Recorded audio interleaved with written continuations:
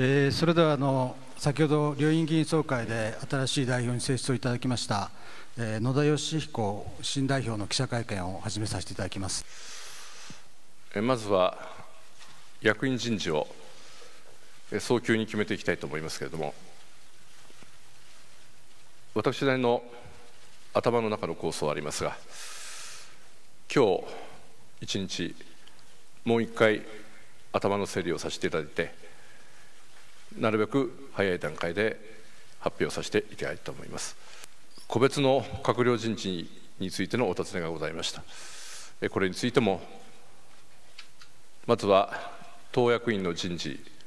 そして主犯指名これを経た後に対応をさせていただきたいと思います。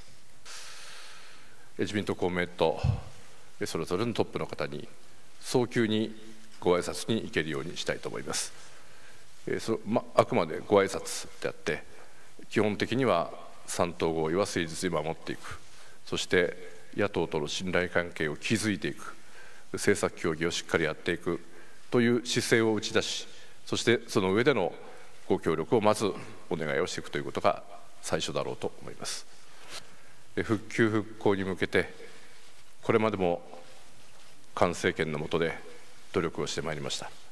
やるべき課題はいろいろあります。その作業を加速化していくということ。そして被災地の皆様のさまざまな声を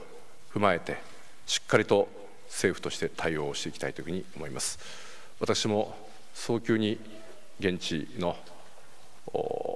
知事さんはじめあるいは被災地の皆さんはじめ改めてご挨拶に行きながらそうした意見交換を早急にさせていただきたいと思います。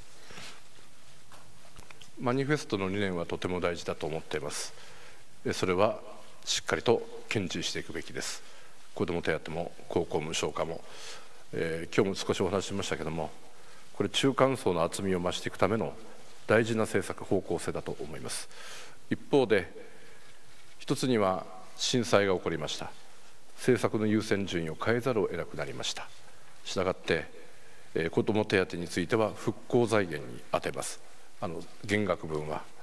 そしてすでに高速道路の無料化は第一補正で復旧財源に充ててます。というように大事な理念がありますけれどもそれを満額今実現できる状況ではなくて政策の優先順位を変えていくという中での対応はあるということでございます。基本的には今政治空白を作れる状況ではないということです。そういう意味で